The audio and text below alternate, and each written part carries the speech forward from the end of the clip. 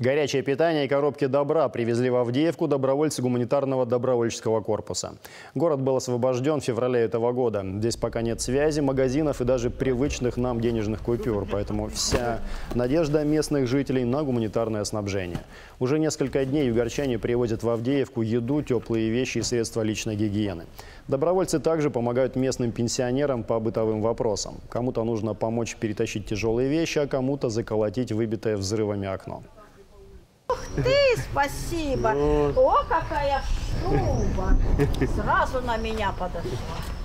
Люди есть, а, точек уже три или четыре мы нашли, ну, по-всякому, где-то около 10 человек на точке, где-то меньше. Мы ездим ко всем по возможности, где находим, даже если один человек, мы едем и кормим. Спасибо вам большое.